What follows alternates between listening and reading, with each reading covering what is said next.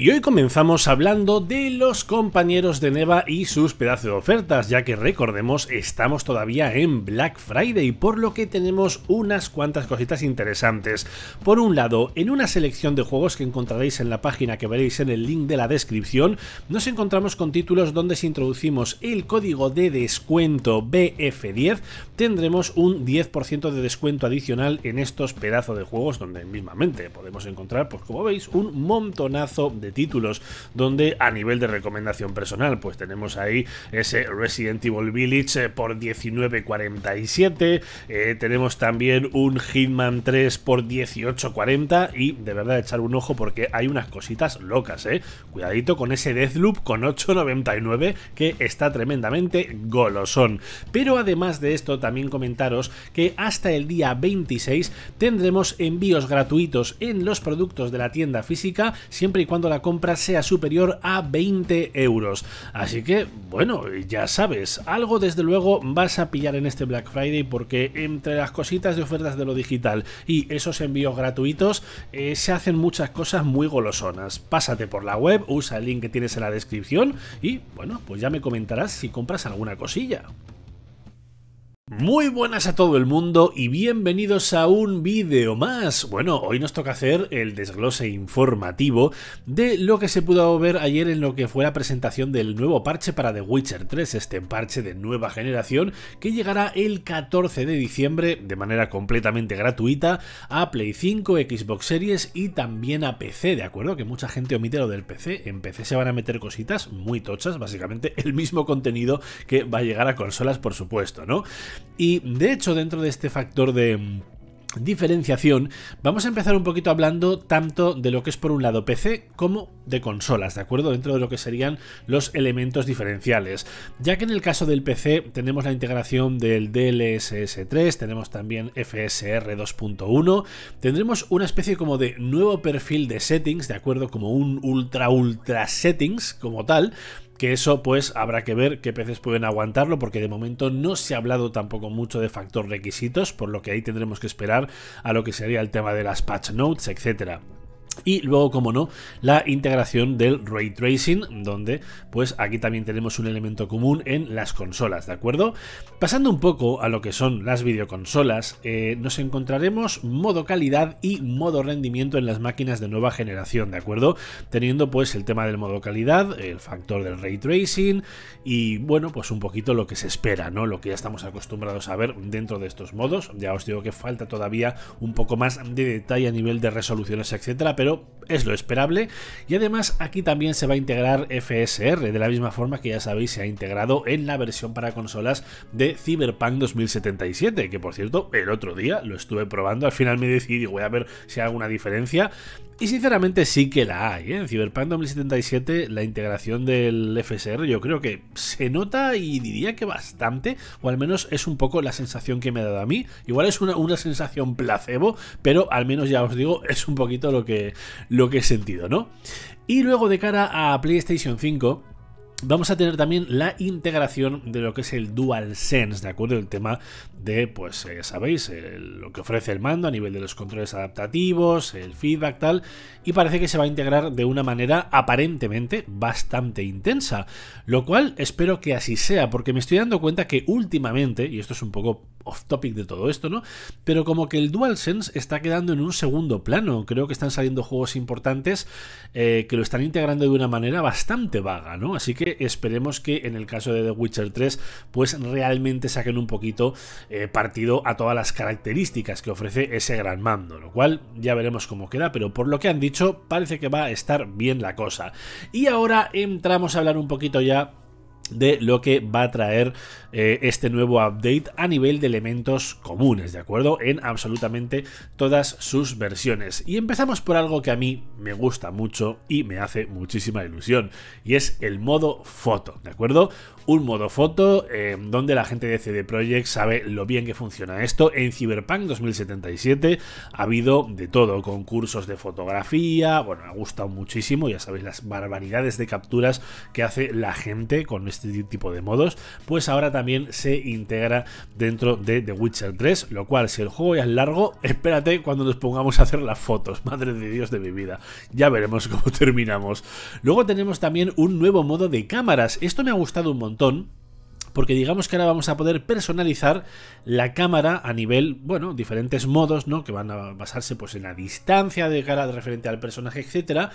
Pero lo interesante de esto es que está dividido para las diferentes situaciones, o sea, podremos elegir un modo de cámara cuando vamos a pie, podremos elegir otro modo de cámara cuando vamos eh, montando a sardinilla, otro para ir en barco, o sea, no tenemos únicamente una especie como de elijo este y este para todo, no, sino que podremos personalizar todo esto dependiendo de la situación en la que se encuentre Gerald.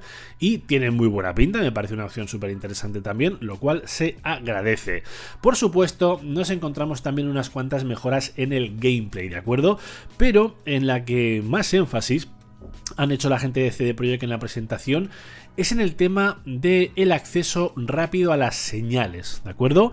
Parece que se elimina lo que viene a ser la antigua manera del menú radial y ahora mediante una combinación de botones como que podremos cambiar de señal de una manera muchísimo más rápida y más adaptada a lo que sería pues los combates del propio juego, ¿no? Combates rápidos que ya sabéis requieren pues eh, que podamos acceder a este tipo de cosas de manera bastante más eh, inmediata. Eh, veremos un poquito cómo va funcionando esto cuando, cuando lo tengamos en las manos porque ya os digo que tampoco han hecho eh, una gran explicación sobre el tema, pero sí que comentaban que una vez probemos este nuevo factor de acceso rápido, eh, no podremos volver al anterior, ¿no? Si queremos, parece que sí que podremos activarlo en el menú de opciones, el modo anterior, pero nos han dicho que esto va a estar bastante más eh, pulidito, ¿no? Pasamos también a otro punto que me ha gustado un montón, filtros para el mapa, concretamente una especie de versión del mapa limpio. Esto obviamente también será opcional para el que lo quiera, pero digamos que eh, para. Yo creo que además esto es muy interesante, sobre todo para la gente que vaya a jugar al juego por primera vez, donde tendremos un modo el cual nos ocultará lo que son las misiones secundarias, ¿no? Los factores, bueno, misiones secundarias y lo que viene a ser los interrogantes del mapa, ¿no? Esos interrogantes de si vas a este sitio encontrarás algo. Digamos, eh, gracias a este mapa, a este nuevo modo, podremos ocultar todo eso y explorar el terreno de manera mucho más orgánica. Es decir, voy ahí porque quiero ir ahí a ver si hay algo y tal vez te encuentres algo o tal vez no. Esto ya os digo que me encanta. Yo, de hecho, cuando rejuegue The Witcher 3, eh, lo voy a rejugar de esta manera, sin lugar a dudas, porque aunque sí que es cierto que en mi memoria tengo muchas, muchos, muchos, eh, digamos, eh, zonas del mapa que ya sé lo que hay creo que puede ser muy interesante el eh, perderte un poquito por este escenario, ¿no? El buscar todo lo que puedas por ti mismo sin estar tampoco ahí siguiendo puntitos, puntitos, puntitos. A mí me gusta la idea y nuevamente es opcional. Que quieres lo tradicional, lo tienes. Que quieres este nuevo modo de mapa, pues también está. Me encanta gente, me parece muy interesante. Luego también se ha hablado de la mejora de las texturas, ¿no? Aquí vamos a tener una mejora de texturas prácticamente a nivel general, por lo que han dicho. Hablamos de escenarios, de la hierba, del agua, del cielo, eh, de los edificios, de absolutamente todo. O sea, parece que el trabajo que se ha hecho aquí con este tema es muy bestia. Dicen que además ha mejorado mucho sobre todo lo que es el tema del entorno, ¿no? Ahora cuando miremos un entorno, el tema de la mejora de la hierba, etcétera, va a hacer que lo sintamos, pues ya os digo, una generación más avanzada, que al fin y al cabo es de lo que se trata. Pero me gusta mucho porque parece que efectivamente aquí sí que han hecho un trabajo bastante titánico, ¿no? Y eso, desde luego, es de agradecer más cuando estamos hablando de un parche, recordemos, gratuito. Y esto es muy importante, ¿eh? porque, hostia, es gratis y que algunas empresas aprendan del tema, que no estaría mal. Bueno, también tenemos... Em, el tema de lo que serían mejoras, vamos a calificar un poco de accesibilidad, algo que me parece muy importante. Y es que una cosita que a mí eh, me parece muy necesaria es el tema de los subtítulos a nivel de tamaño, ¿no? Pues aquí vamos a poder cambiar el tamaño de los subtítulos y también el tamaño del HUD, ¿no? Para adaptarlo a lo que nosotros queramos. De hecho, en el original parece ser, no me acordaba yo de esto, porque ya os digo es que muchas cosas se me van de la cabeza con el tiempo que ha pasado, pero en el original no se podía elegir aparentemente el tema del tamaño de los subtítulos y aquí parece que se han focalizado mucho en cambiar esto, ¿no? Para que la gente pueda personalizar todo este tema. Yo me pondré los subtítulos al máximo de tamaño, siempre lo hago en los juegos, porque no sé, me gusta, es algo que siempre me gusta tener los subtítulos activados y sobre todo cuando tienen un buen tamaño, ¿eh? Cuando son así tamaño pulga, ¡oh! ¡Qué rabia que me da, tío! Así que muy bien por esta decisión por parte de CD Projekt. Em, ¿Qué más cositas tenemos? Eh, arreglos en algunas misiones, ¿de acuerdo? Digamos que algunas misiones del juego todavía eh, podrían ocasionar algún tipo de bug, el cual impedía completarlas. Eh, han dado algunos ejemplos de misiones, aquí no vamos a entrar en los ejemplos, pero además han comentado que estos arreglos también los quieren hacer de manera retroactiva. ¿Qué quiere decir esto? Que si tú a día de hoy tienes una partida de The Witcher 3 empezada y la dejaste a medias y tienes alguna misión bugueada, pues supuestamente, y esto ya lo veremos, digamos que este parche arreglaría también ese bug sin que tengas que empezar una nueva partida, ¿de acuerdo? Por lo que, muy bien, pensando en ese punto, fantástico. Eh, también tenemos otro elemento que es pausar el juego en las cinemáticas. Fíjate, no me acordaba yo que no se podía pausar el, el, juego en las cinemáticas. Algo que parece una tontería, pero no sabéis ¿eh? lo que se agradece cuando estás ahí por las 8 de la tarde, ya 8 y media, echando la partidita y de repente te llama la parienta, oye, que tienes que hacer la cena, ponte a hacer la cena y tú espera un momentico, por favor, que estoy en medio de la cinemática. Eso ya es agua pasada y de verdad que me gusta mucho la cosa. Em, también tendremos, y esto es muy chulo, algunas nuevas misiones relacionadas con temas de armas. Parece ser que van a integrar eh, nuevas armas y armaduras y digamos que para desbloquearlas no simplemente tendremos en plan de, mira, nueva armadura, pum, te la pongo en la mesa y la toma por culo. No, aquí como que habrá algún tipo de quest para llegar a ella, ¿no? Por lo que estaríamos hablando de una especie de nuevo contenido bastante importante. Y esto realmente me gusta mucho. Habrá que ver cómo se integra a nivel de variedad, etcétera, pero ya os digo que me parece muy interesante. Y luego también eh, la progresión cruzada, ¿de acuerdo? Ahora tendremos progresión cruzada entre todas las plataformas. Decir, si empiezas a jugar en PC y luego quieres seguir jugando en Play 5 o en Xbox, pues no hay ningún tipo de problema, no tienes que tener 40 partidas diferentes y eso también está muy chuli.